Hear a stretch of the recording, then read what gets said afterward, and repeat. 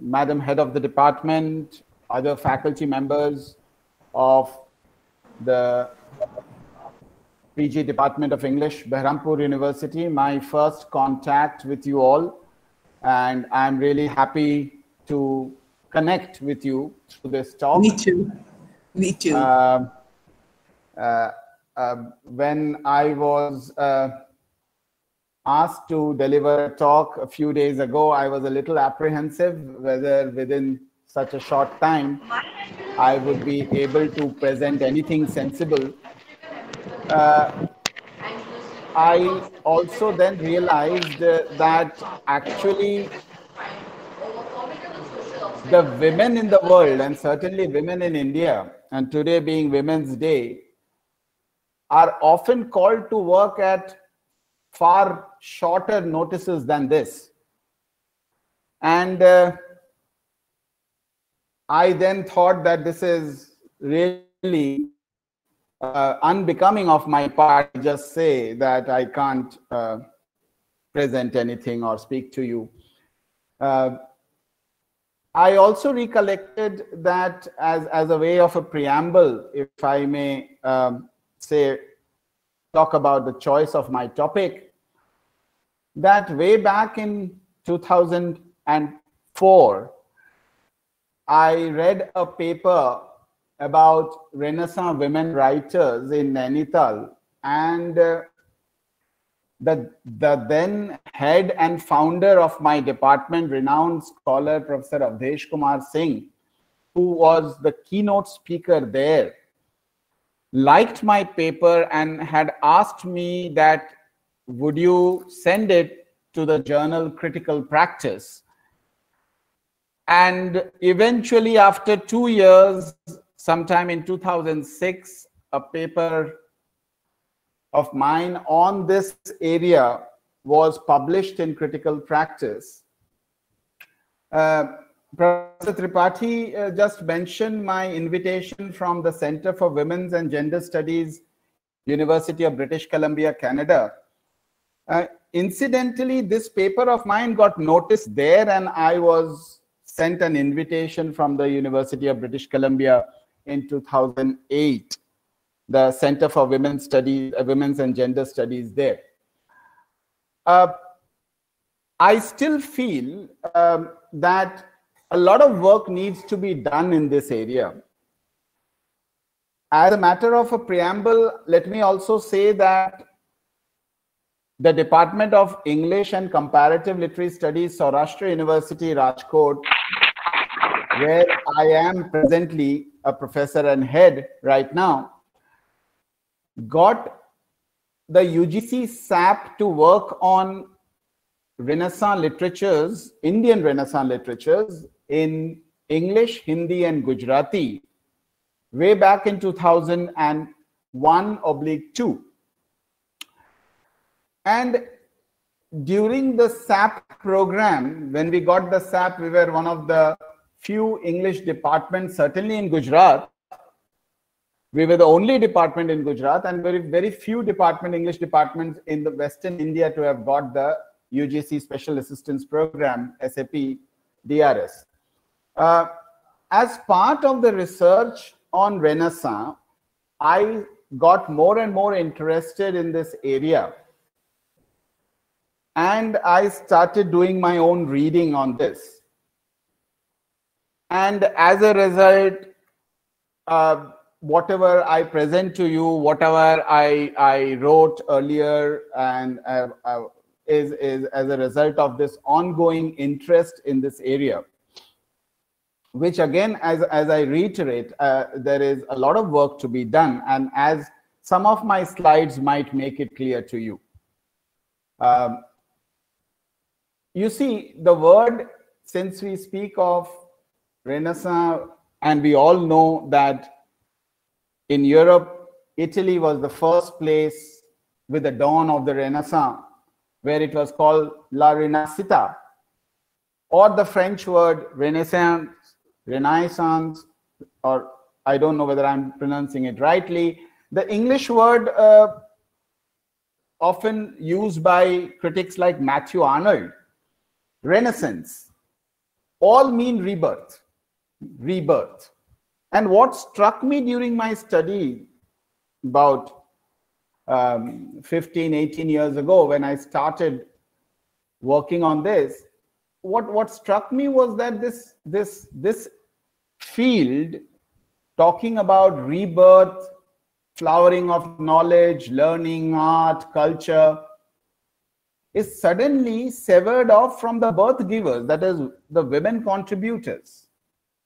And that actually started uh, my curiosity and interest to know.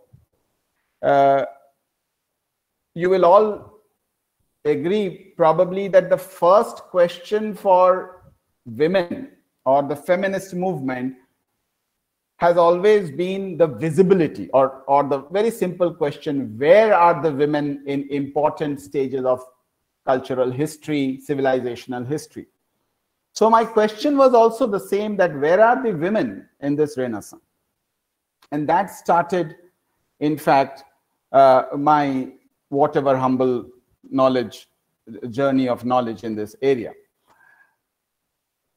And uh, this is a few things that I would like to share with you as a result of, uh, of my ongoing interest. Uh, again, I hope my slides and the slide changes are visible now properly. This slide that I'm presenting to you talks about the twofold yes, cult about women. Yeah. So you can see that during the from the medieval period onwards, whatever we know, and even when Renaissance began, the pre-existing ideas about women were predominantly two. And we are talking about the European context. The first was as symbolized by Eve, and Eve was supposed to have held a holy communion, unholy communion uh, uh, uh, with Satan. That is so, so she also somehow was labeled with the evil. And along with that, there is another story about Mary Magdalene, who was the sinner, prostitute, and Jesus cured her. Again, the, the word evil and evil spirits are associated with Mary Magdalene. So, one association with women even today, we hear news about women being branded as witches and they are tortured and, and it, it's we still get to see such news clips in India even in the 21st century. So one one uh, uh, idea associated with women was about that they are they are uh, on the side of the evil they are sinners, uh, they are double sinners, they are uh, temptresses, and so on. Exactly di diametrically opposite is the other idea, which is symbolized by Virgin Mother Mary. That is, they are the most exalted, they are the purest, they are the women par excellence, so, in between these two diametrically opposite ideas about women, the human women have also made their, their contribution. The, the women in flesh and blood, the women like any other human beings, especially like any other man, they have also made their contributions. And this is what uh, my, my uh, talk is about. Uh, but again, if we look at some of the very curious practices during uh, Renaissance period coming coming on, continuing from from the uh, medieval times, you will find that wife beating was an accepted thing. And a, a man was allowed to so-called chastise his wife because she is part of his household. And uh, we have examples like I have mentioned, for example, the taming of the shrew, although uh, um, Shakespeare is actually critiquing the entire practice, but nevertheless presenting the quote unquote taming of the woman, of the shrew. And, and um, scholars like Eileen Power have, have conducted their research and come to the, come to the conclusion that uh, socially, the devotion of a woman for her husband was equated with the fidelity of a dog for a master. Now, these, these are some of the parallels that were uh, very casually dropped. No, there was no problem when these were equated in this manner. Um, and, and, and open public punishment of women went on during Queen Elizabeth's time also when Queen Elizabeth was the Queen of England. That also happened there. And the institutions primarily uh, that formed ideas on women were two. The, the church, where generally celibate men formed the ideas about women, and the aristocratic class. They they had the all the means at their hand. They they were uh, in the court. Uh, they were literate educated. Uh, they had the means of airing their views with a lot of command and they took certain things their opinions as if for granted. And they regarded the aristocracy generally regarded women as a subsidiary to their asset the land. You will all uh, agree uh, and recollect that you know land was a primary resource during that time. It is still real called real estate okay and and money paper currency is often subordinated even today to the real estate. So for aristocracy, the primary asset was land and their, their county, their kingdom often was ornamented with beautiful women. And so women were often ornamental and they were certainly subordinate to this primary asset, land. And as, as Eileen Powers says, that it, it might with truth be said that the accepted theory about the nature and sphere of women was the work of the classes least familiar with the great mass of womankind. So these two institutions aired their opinions and ideas about women when in fact they were very little familiar with majority of the women. This is the dichotomy this is the irony that you find. You will also, you might question that, well, with Renaissance came humanism. With humanism came ideas about educating women. So did humanism help? With whatever little finding that I have had, and I will mention a few texts also from uh, which I have borrowed my ideas, and, and uh, they would be, the names uh, would be available to you. Uh, I think that in exceptional cases, education, in, in, in very rare cases, education came to women, women could uh, avail of education. Uh, women were by and large denied education. So overall, education didn't impact much because again, you see the goal of education for men and women were perceived to be different, absolutely.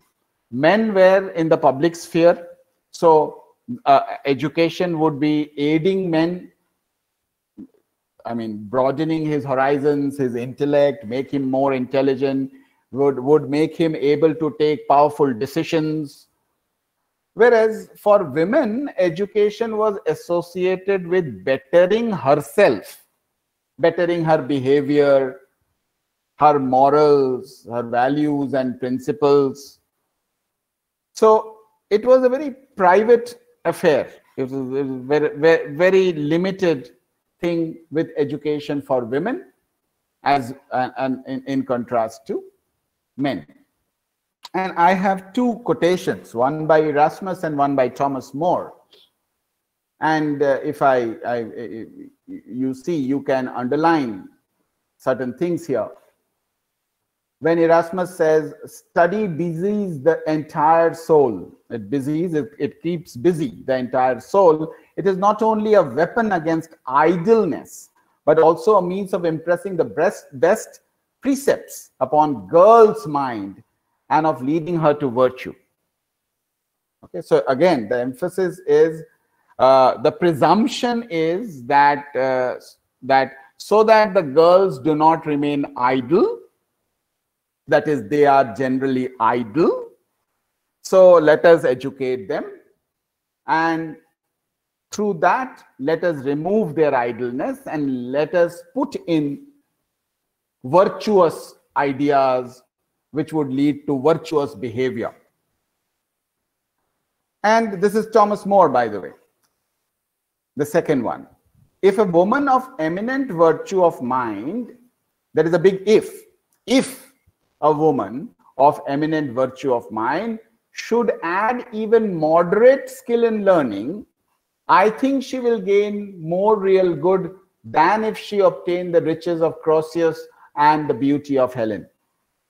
So once again, we were discussing just a, a little while ago that that talking about women as part of assets, richness, uh, and of course there have been women associated with ornamental beauty, and and so these two things again becomes very very stereotypical as you can see.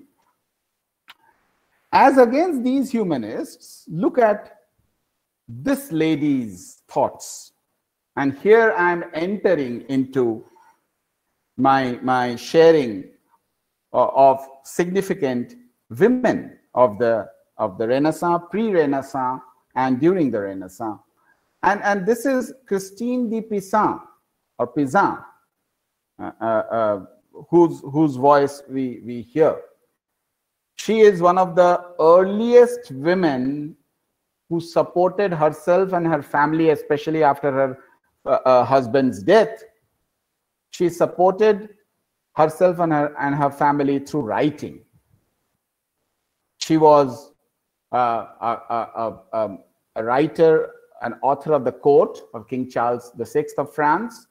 And then she was a, court lady uh, as a writer as, as an intelligent woman uh, in several courts of French dukes. And we have till now known, uh, I have always maintained, as have the, the women scholars who have dug up the works of the women, that when we speak of the works of women that we talk about, we always have to say, as of now, we know. Because more research might lead us to know more about them. So there, there is always a, a, a provisionality, not a finality to when we talk about the works of these ladies, these, these, these women. Uh, so uh, the works that we, we associate with Christine de Pizan is the book of the City of Ladies and the treasure of the City of Ladies. And look what she's talking about. In the, in the previous, you saw Erasmus talking about girls' mind and virtue and this and that. And here is what she is opining. But if it were customary to send little girls to school and teach them the same subjects as are taught to boys. Now, this is important. We still believe that certain subjects are not meant for girls. Engineering, for example, mechanical engineering, electrical engineering still is a predominant domain for men. We think that, oh, what, what would a girl do going into that area? So this is this is 15th century Christine de Pizan talking about if it were customary to send little girls to school and teach them the same subjects as are taught to boys, they would learn just as fully and would understand the subtleties of arts and sciences. Sciences. If they, indeed, maybe they would understand them better, she says. If they understand them less, it is because they do not go out and see so many different places and things, but stay home and mind their own work. She just stops short of saying that they are forced to stay home. It is because they stay home, because they are not allowed to go outside and gain exposure. And there, there is what she says For there is nothing that teaches a reasonable creature so much as the experience of many different things. So, uh, uh, uh, girls are blinkered, they have a very narrow view of exposure to life, whereas men have everything, the entire vast world. And this is what she is saying that why can't girls be sent to schools and taught the same subjects that boys are? So we just mentioned Queen Elizabeth, and we said that even during her reign, so a natural question might come so all this was happening, and the women were marginalized and never thought of when they were really powerful women, like Queen Elizabeth I on the throne. What was happening? What was their role of ladies, the such powerful ladies?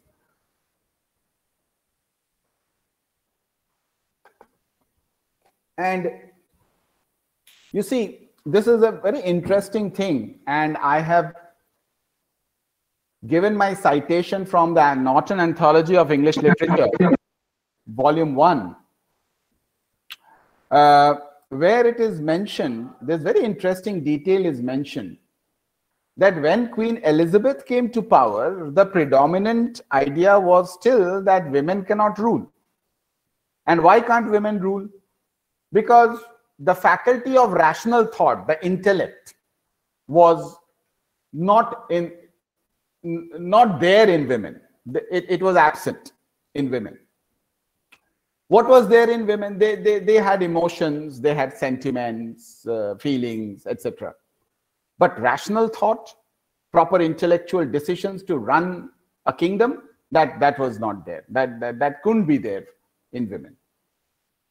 So what happened when Elizabeth, Elizabeth, a very intelligent lady and her trusted privy council as it was called. And i put two names there like like lord burleigh and francis walsingham and they they invented and spread since since women were only supposed to have emotions uh, they they they invented what is called a cult of love an emotional cult. And they associated it with the Virgin Mother, Mother Mary. And so the so Virgin Mother Mary and the parallel Virgin Queen Elizabeth. Mother Mary's love for infant Jesus is equated with Queen Elizabeth's love for her children, the citizens. And so this love, however, was not considered to be residing in the physical body, the body natural, but it was in the body politic.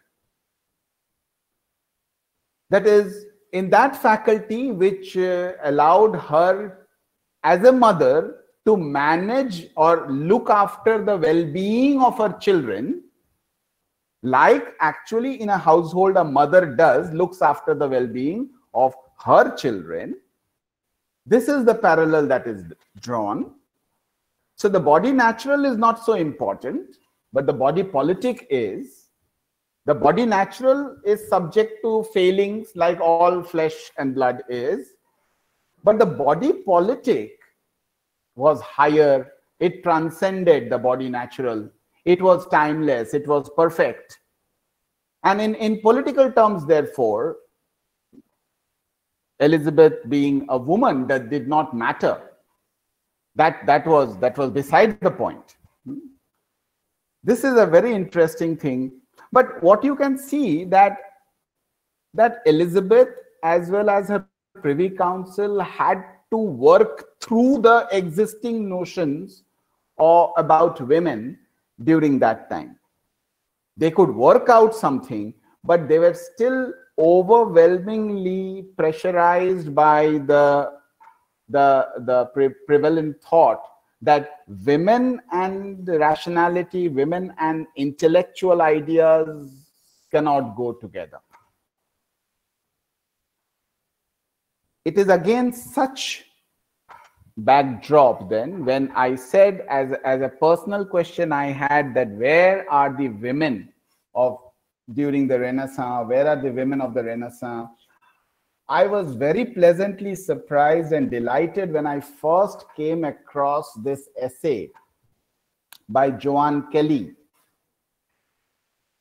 And the name of the essay is exactly what i have titled this slide did women have a renaissance? This essay is found in a late 1970s work edited by Bridenthal, and Koonz, which is called very significantly Becoming Visible Women in European History. Becoming visible. So that's that's the crux of the thing. What, where is the visibility of women? Where are the women? Very simply put, where are the women? and it is there if you if you yourself if you start working in this area you will realize that all these works the works that i have put across or works that you will come across you can you can uh, uh, frame them from the late 1970s onwards only 1970s onwards actually majority of the work this is a very early work by Bridenthal and Koonz 1977 Majority of the work, they start coming out from the 1980s. Now I am putting a few works here. This is where I have borrowed my ideas. This is where I have I have been helped for earlier also in my in my own personal research and and uh, these are the works. For example, this is a work in 1987, Women Writers of the Renaissance and Reformation.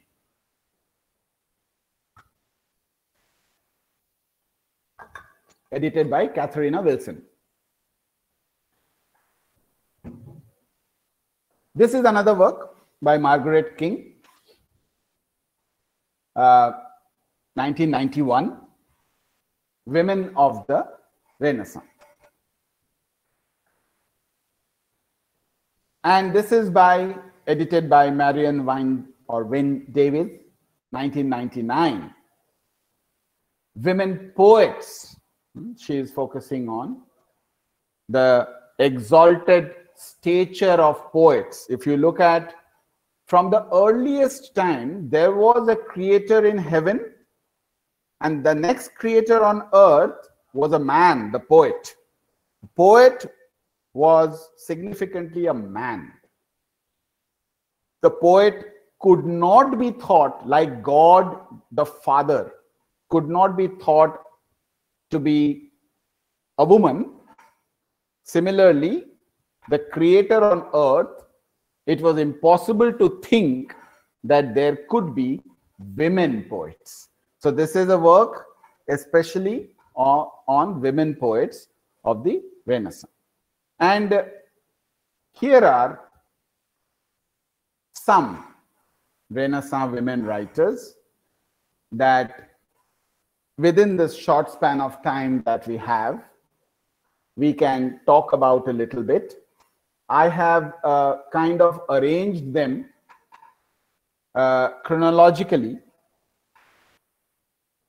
And uh, many of these dates, I have put, for example, a question mark against Isabella Whitney. Please note that many of these dates by literary historian, feminist scholars. Uh, there is a year there, there is a year uh, in the uh, being born, year of death, and uh, and there is not really consensus on these years, but more or less um, these these there are these years. So um, it is it is often better uh, to to say that we still have to know about the details more. Uh, interestingly, there are these classes of women. For example, we have the aristocratic class, the working class, the women, hundreds of women who are nuns, who were nuns. There was this very small class of very talented, educated women, the courtesans, and again working class you can say lower middle upper middle both kind of working classes where anna Bijns would uh, comes from a, a, a tailor's family a, a, little lower middle uh, class isabella whitney is slightly upper middle so middle getting divided into lower and upper and the and the country it is interesting to say for example uh, here i mentioned um, uh, for example that we were talking about education, humanism, emphasis on educating women. You see, uh, aristocratic women could get education more freely if there was a supportive father, brother, husband. For example, uh, the, the, the quintessential Renaissance man, Philip Sidney, his sister Mary Sidney was equally well read. In fact, we know about Philip Sidney today because of Mary Sidney. When Philip Sidney died because of a battle wound, his study was full of scattered with his writings, papers. And we are talking about time when there are physical papers, not neatly put under documents and, and uh, things in the laptop or desktop where we have folders managed. And it is Mary Sidney who collated, brought together, made sense of it, and posthumously published works by Philip Sidney, because of which Philip Sidney is often known as a one a fountainhead of English criticism when we talk about England, with his uh, defense of poesy, for example. Uh, so aristocratic women, for example, they, if they had support, support by men, uh, they had education. It was more difficult for the working class. They, they often had uh, to fight for education with their own initiatives. So um, for them, they might they, it is it is it is more likely they rebelled against the men in their family to get education for the nuns, uh, they were strictly, they had to be literate to a certain extent, but they were strictly monitored what they could read and what they could write. So again, very blinkered, uh, uh, very confined, parochial uh, education we, we speak of about this class of women. The courtesans are like we have in India, Umrao Jan Ada, for example, highly talented poet, dancer, musician, and very beautiful. This is a class of women, a very small class of women, where approximately, approximately, and I, I, stress approximately, uh, there is a modicum of a semblance of equality between the courtesan and her lord this is uh, uh, an, so it's an interesting class. And and and we are talking about i'll be taking um, um, from uh, the fifth person here um, isabella whitney. I i think when as students of literature when we start knowing the elizabethan period renaissance period i don't know how many english departments teach isabella whitney uh, what do we know? How, how, how many of our students doing BA, MA know about Isabella, Isabella Whitney? Where, where is she put in the syllabus? Is she studied?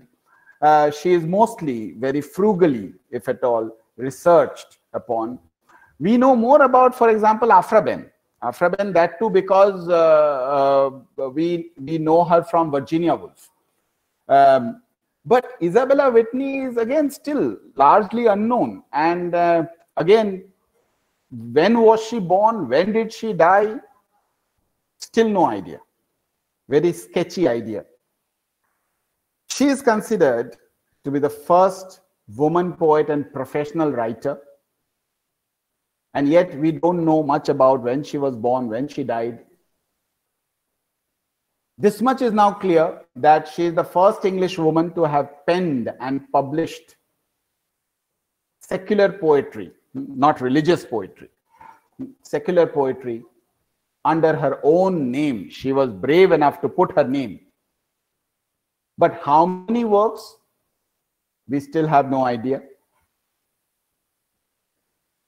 She was this daring woman when she ventured to live as a single woman in the city of London. And when she did so, there were only three avenues for single women or women basically for work. One, she could be a servant. There were many noble families, barons and lords, and in their household, she could be a servant. She could be a street vendor selling different wares, or she could be a prostitute, she could be a sex worker. And against this, this is this is a lady, she she ventures to earn her living out of writing. And as we were just discussing that we have started coming to know about her from the from 1980s. The first proper critical attention on her was a work by Betty Travitsky in 1980. And this is interesting. This, there is this woman, Kate Bradley, uh, a white woman, a young white woman who's writing in 2018 about her own experience of a single working woman, single working white woman, uh, uh, youngish white woman in London in the 21st century. This is a 2018 writing. And she says, as night falls on London, the urban landscape becomes a no woman's land. To go out alone after dark is to take a journey through my own nervous system. Kate Bradley speaks about in London today, there are stalkers. In London today, there are rapists. And a young woman is not really safe on the streets of London during certain time in certain localities. So if this is true in 2018, we are talking about, you can see the dates there. Isabella Whitney's canonical texts, right now there are three. Look at the longish title, the copy of a letter, epistolary mode of writing, the copy of a letter lately written in meter by a young gentlewoman to her unconstant lover. Emphasis on gentlewoman otherwise people will not read. Then a sweet nosegay or pleasant posy. Nosegay is a bunch of flowers uh, posy flowers and so her poems is a bunch of fragrant flowers. Uh, the lamentation of a gentlewoman upon the death of her late deceased friend william griffith gentleman. Gentlewoman gentleman. These are some of the texts and the, the, the titles themselves are so evocative and, and uh, open to interpretations. And as I mentioned that critics have found that Whitney's writings, they, they, they cover a whole range of things. For example, social realism, including what later on, for example, William Blake would write, write about the prisons in London in his famous poem, London, for example. There were public punishments, including public hanging during Whitney's time in London. And then there were all the, so many women put into mental asylums. Discipline and punish by Foucault immediately comes to mind how women and men, they are branded as unhinged, mad, and then you can put them into asylums. Whitney's writings also reveal her great angst against the disparity of wealth that one finds in the cities. But she is also living in the city has made her very sharp about the economic transactions, the commercial transactions of the city. Uh, she also reveals a, a strong Christian Protestant strain in her writing. She identifies with the marginalized and the dispossessed. And she also is a good craftswoman. That is, when, when she is she is writing Ovidian and Petrarchan love poems, she is actually undercutting their way of writing and she is radicalizing the form. So we can we can see. I think uh, if some people start getting interested in Isabella Whitney, then such talks would would have its its goal uh, uh, concluded, kind of a thing that it would be worth it if people take up young young people take up knowing about such writers. I come to this uh, very, very respectable, honest courtesan, as she was called, Gaspara Stampa, Venetian courtesan, who was, as I mentioned, is, is often considered probably the greatest Italian woman poet to have come out till now. At the age of 31, she dies. I wrote more than 300 poems. You, you see, this is this is the problem more than 300 poems can be 301 poems and more than 300 poems can be 425 poems also. That is more also more. But how many more? This is an approximation. We say oh she produced more than 300 poems. And and um, again published most of them published posthumously. And and she she was a musician she she uh, set poems to tune. And and she sang her poems. And and she and her sister and her brother they where they stayed they were the toast of the venetian sophisticated venetian society. And so this is this is a lady where her poems she was obviously a courtesan which means she was uh, associated with a count.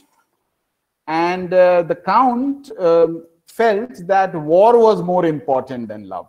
So Gaspara Stampa's poems have all the nuances of especially unrequited love. You, you can find all the nuances obsession, desire, jealousy, frustration, loneliness, anger, and again she's very conscious of the masters like petrarch and and she brings about a variation in the sonnet form when she writes. And gaspara stampa is identified as as one of the initiators of the or in italy was called the sweet new style of writing poetry the dolce stil nuovo sweet new style of writing poetry. And and and what was what must have been blasphemous when she was writing what she did through her poems is that she equated the beloved, that is the man. You see, when we talk about love poems, the lover is generally the man. But first thing she she does is to invert that. The lover is the woman. The beloved is the man. So the beloved is equal to God.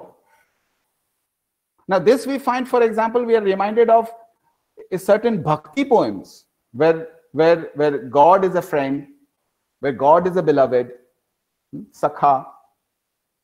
This is the kind of a thing which at that point of time when she was doing it must have been really problematic. And also she hierarchizes the love of the lover, the woman, or on the grounds that she has the purest of all emotions, and that is love.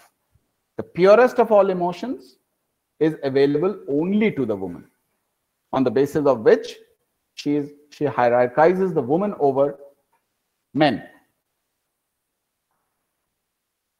I mention a nun, Saint Teresa of Jesus, who was, as, as we mentioned, is wrote like so many other nuns under the strictest monitoring of the church fathers. And therefore, many of the writings that the nuns wrote had implicitly the, the, the acceptance that women are sinners and so on. Yet, her writing reflected upon this problematic thing called sainthood. What, what does it, when, when, when human beings turn into saint, what does it mean? How is the process? What happens? Especially when she knows from her own experience that hundreds of young women come to the nunneries. They are, they are women, they are very poor women. At such a time, at such an age where it is very natural to like food, like dresses, when it is so natural to have desires what is it to come to a nunnery what is it to you know give up what what is it to renounce you know the possessions and therefore her writing this tension of, of, of this walking on this narrow difficult path of piety or surrendering oneself to god what is this thing this this this this tension that uh, uh, she reflects in her writing. This is which, which is very remarkable. And, and she would often talk about in, in, in very homely similes of gardening and watering the plants and such things to describe the interaction between a human being and, and the divine force. Uh, her famous works are, are, are, as of now, four the Book of Life, The Way of Perfection, Book of Foundations, and the dwelling places of the interior castle. This is this is really this has become very famous. This is, as I said, Anna Bijns comes from a, a um, tailor family, a lower middle class, and she is a very well-known woman uh, uh, in, in Europe who was part of the Catholic Counter-Reformation. She held very strong opinions against Martin Luther she coined the word Luthery. She accused Martin Luther of being a wolf in a sheep's garb. And, and her lifelong mission was to impart education to working, lower middle class, lower class, working class women. And this brings us actually, and I am almost towards my, the end of my time, it's coming to be 1.30, Vittoria Colonna, an aristocratic lady, a friend of Michelangelo, one who has been mentioned by the great, uh, uh in, the, in the great work, Ariosto, uh, Ariosto mentions in Orlando Furioso,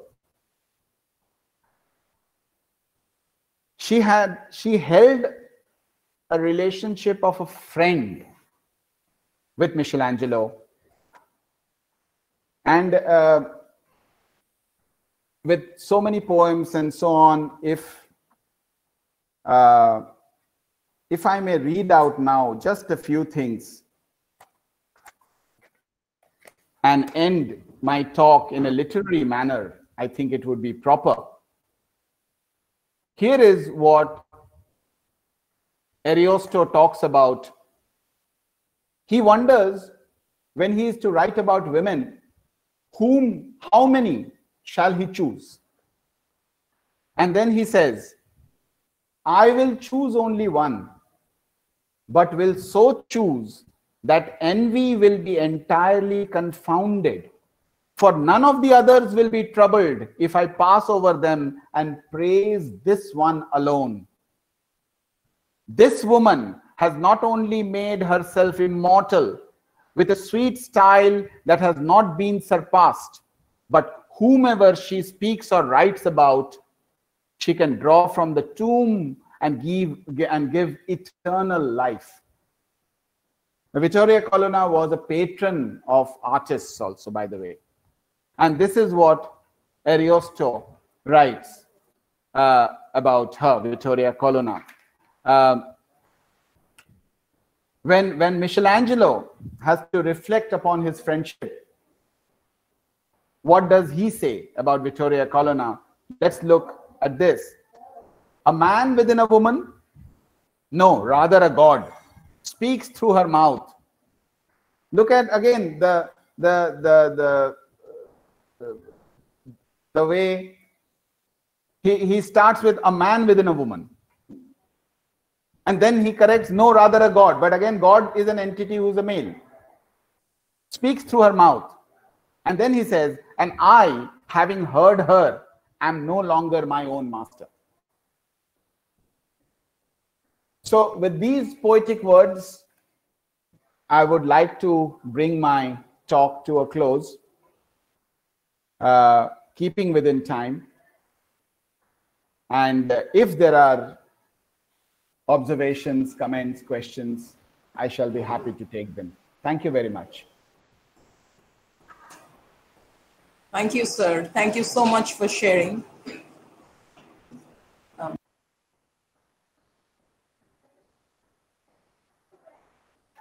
Who are majority of my audience, ma'am?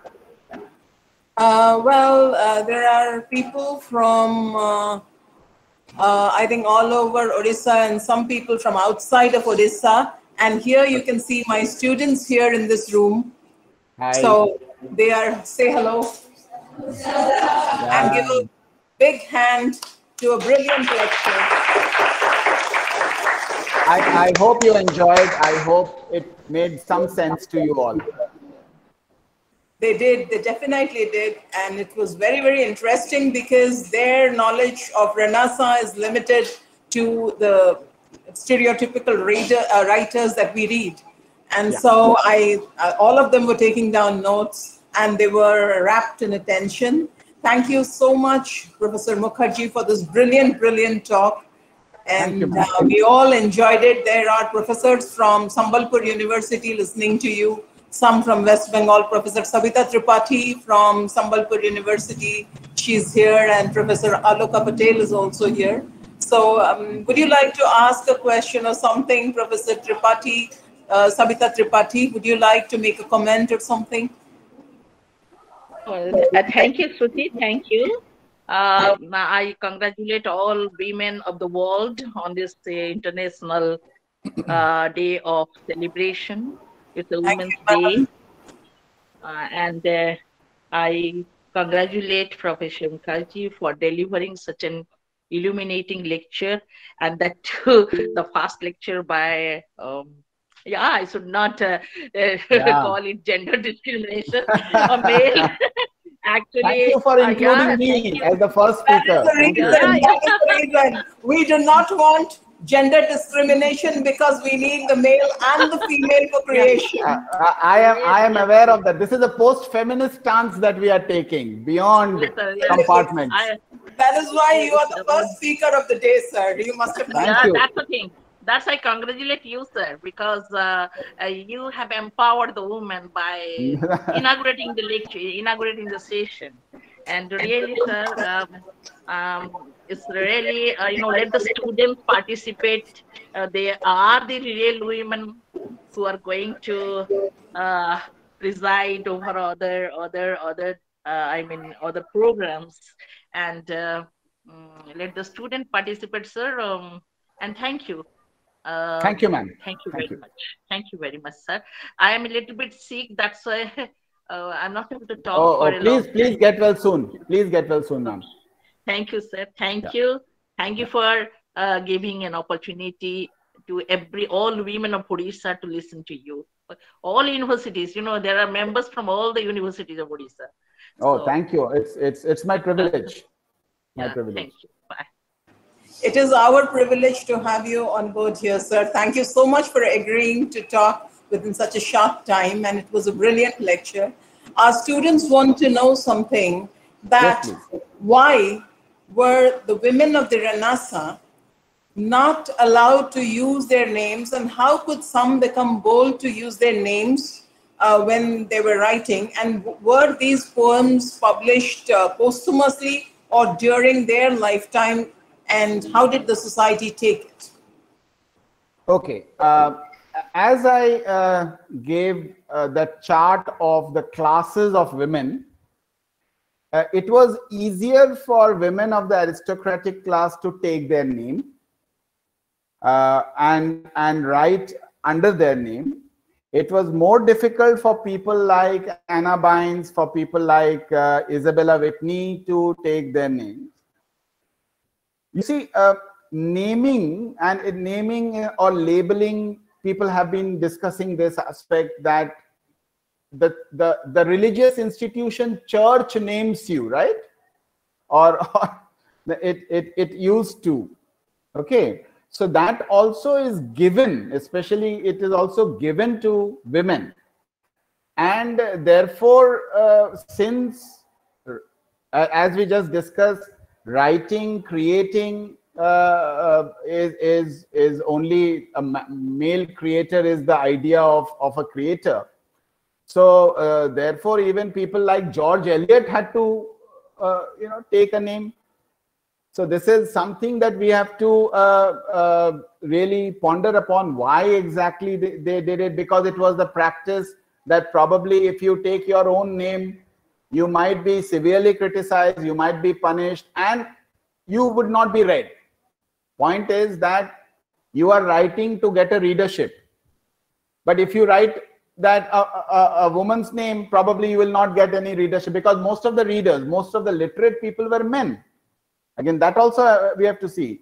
Today, from the reader's respect point of view, reader's response theory point of view, so most of the readers, most of the literate were men. So they, they would also like to read men. So this was a conditioning at that point of time against which gradually some women could still fight and come out. This is what I can say. Thank you, sir. There is another question from the students that uh, they're reading Hamlet at the moment. Correct. So the first year students. So uh, when um, well, the Queen was in power, Queen Elizabeth, how could yeah. Shakespeare write "Frailty, thy name is woman" and get away with it? very good, very good. I think students ought to ask these questions. Uh, that is why you will see I brought in Elizabeth in my in my discussion. Elizabeth actually could rule because she had a very good, small, loyal group of men with her. Her privy council included a, a, a committed men with her.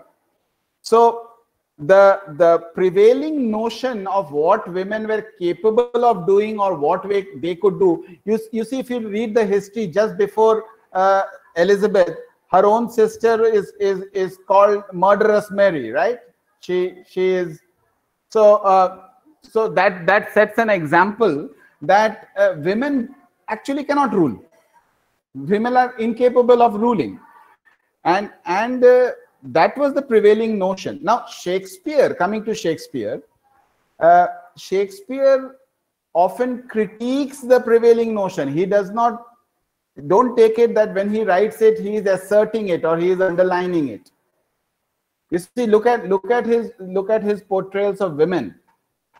For example, when we say, eh, since you are talking about Hamlet, what is Hamlet's major problem? Hamlet cannot understand the behavior of his mother. Why is his mother so soon after the death of his father? Why has she married his uncle? Now that he can understand somebody's death, father is a father figure, can die, he is a university wit, but he cannot understand the behavior of his mother. Now, sometimes, dear students, you have to read through silences also. Not what is written but what is not written.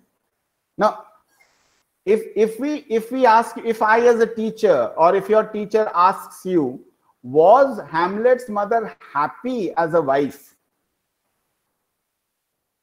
it is not mentioned but why did she so quickly marry the uncle probably she was given more respect more love more care by the uncle than the husband. Maybe the husband, maybe the husband took her for granted. Okay. So there are certain things that Shakespeare is great in his silences or reading between the lines. We have to ask such questions also. uh, uh, and when we read Shakespeare. Uh, excuse me, sir. Do you think that uh, Murderous Mary was uh, the um, kind of you know um, idea behind Shakespeare's uh, Lady Macbeth? Oh, but uh, okay. So that is one way of looking at it. Yes. Um, uh, another way of looking at it is uh, um, some of the women, Renaissance women poets, and especially, uh, say, Vittoria Colonna, uh, through her poems, they say that war is created by men. And if we remove men from important positions, there would be no war, there would be peace on earth, and there would be prosperity.